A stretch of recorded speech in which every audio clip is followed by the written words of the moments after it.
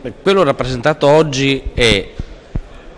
la complessità del sistema sanitario e quindi la necessità proprio per la, le, multi, le, multifacce, medicina di base, eh, attività ospedaliera, eh, rapporti col paziente eccetera, di immaginare ovviamente sistemi eh, articolati e complessi di raccolta di informazioni in modo che possiamo con ciò assicurare la continuità del, del percorso del paziente all'interno del sistema sanitario nazionale e mettiamo nelle condizioni le strutture di offerte, siano essi pronto soccorsi, siano essi attività diciamo, di, di, di, di, cura a livello acuto, ovviamente di disporre di tutti i dati necessari per eh, sviluppare una valutazione compiuta sul paziente, quindi efficacia ed efficacia coniugate.